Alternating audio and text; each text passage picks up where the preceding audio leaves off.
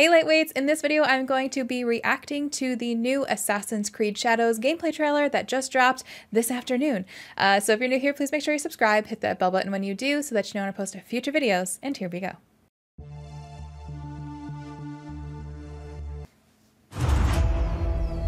Oh, that looks gorgeous! Did your father ever tell you why my bones ache in the weather? Their soldiers killed everyone. I do not fear our enemy. They talk of peace and dream of war.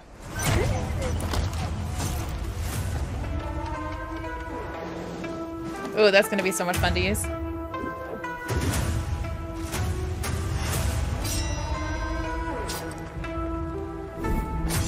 Our people deserve to be freed of the oppressor's grasp.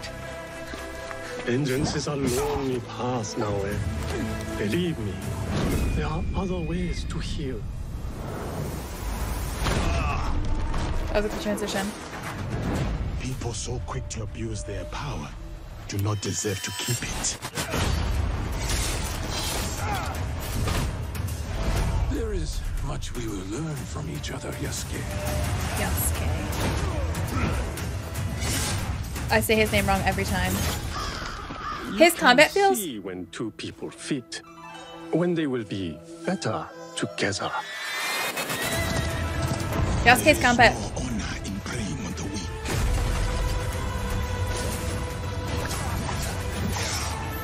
His combat feels very grounded.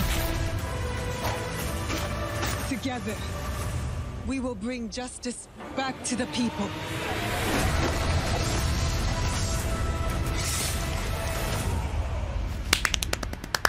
I can't wait! I can't wait!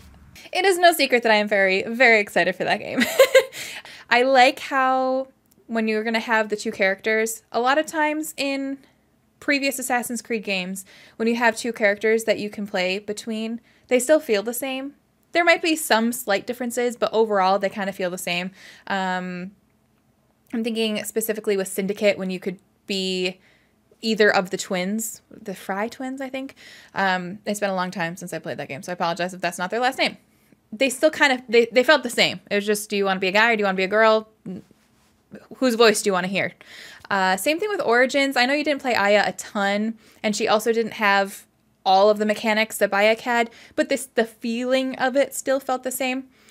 Obviously, I haven't played this yet, but from the trailer, it looks like these two characters are going to have very different feels to them. Um, Yasuke, I apologize, I've been butchering that name forever. I've always said Yasuka. Uh, so I apologize for that, and I'm probably going to continue to say that because now it's ingrained in my head wrong. So it's going to take everything in my power to re rewrite that. So I apologize um, as I try to relearn how the correct what the correct pronunciation is. Um, but his combat felt very grounded, uh, very like much slower, more methodical. Uh, obviously, it might not feel that way when you actually play, but from an outsider viewing it, that's kind of what it looked like. Um, just what you typically would imagine if you were playing as a big, giant, burly samurai uh, versus. No, oh gosh, now I'm now I'm now I don't want to pronounce any of their names because I'm like I butchered both of them. Was it Naoe? um, obviously was the the more stealth assassin look, but her combat really did look much faster paced, um, more fluid more airy. I don't know how they managed to kind of showcase that with just visuals, but it really I felt like I could feel what the gameplay was going to feel like and I'm it, at this point it's looking like they're going to feel very different, which is exciting to me because it's more fun if you're going to have multiple characters to have them feel like different people. So I think that's going to be really exciting.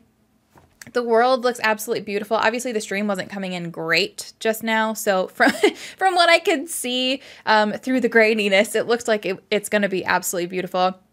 Unfortunately, I think it's going to get this a lot simply because it came out after. I was getting some ghost vibes. I think we're just that's just going to happen because it's similar enough of a style of a game, both taking place in Japan. So I think I think regardless, this game is going to feel in some instances like Ghost of Tsushima.